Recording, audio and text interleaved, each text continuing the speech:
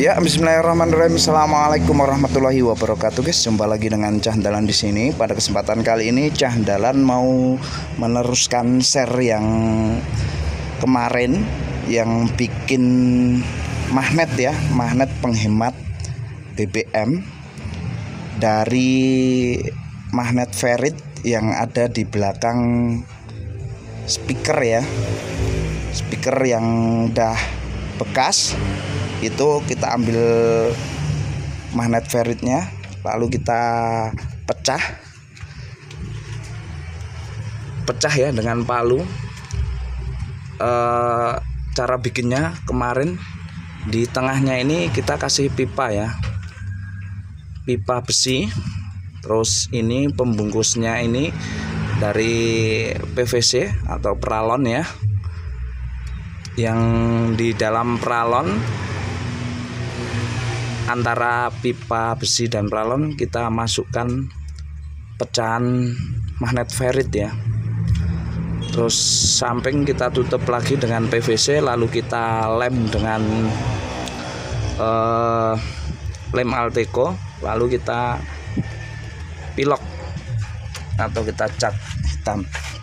Dan ini cara pasangnya ini yang dari full pump. Dari pompa ya. Bisa pompa membran bisa pompa yang rotak. Ini masuk ke ini penghemat BBM nya lalu masuk ke karburator. Kalau yang injeksi dari full pump sebelum masuk ke injeksi kita kasih magnetnya di sini ya. Dan ini dipasang di kijang guys. Kijang super 5k ya 1500 cc. Ternyata hasilnya cukup memuaskan. Yang biasanya dari rumah sini ya saya di Kecamatan Polanarjo. Itu sampai sana Gunung Merbabu sana. Itu biasanya PP ya pulang pergi itu habisnya 80.000 untuk beli bensin. Kemarin 50.000 cukup untuk PP jadi bisa dikatakan ini sukses guys. Bisa hemat 10 sampai 30% lah hemat BBM-nya. Di samping itu, di samping hemat juga di gas buang itu asapnya nggak nggak ada ya.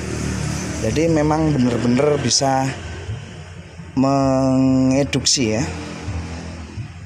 Jadi ketika BBM yang dipompa full pump melewati magnet ini tereduksi di dalam pipanya itu melewati pipa besi di dalam magnet penghemat ini penghemat BBM ini.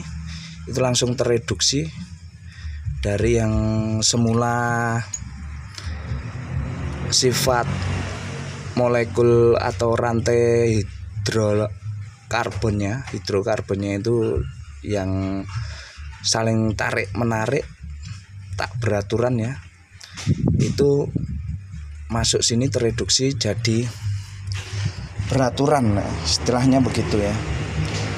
Sehingga uh, bisa terjadi pembakaran sempurna di ruang bakar irit BBM dan juga bisa mengurangi gas emisi buangnya terbukti ya irit juga. Dan bener-bener nggak beras ya. Ini. Ini bisa dipasang di sepeda motor bisa guys. Di mobil juga bisa ya. Ini bisa buat penghemat bensin dan solar. Di solar pun juga bisa ya. Ya demikian sedikit share ya tentang magnet alat penghemat BBM buatan sendiri ya. Cara pasangnya seperti tadi ya. Semoga sedikit share ini bermanfaat. Salam sukses berlover assalamualaikum warahmatullahi wabarakatuh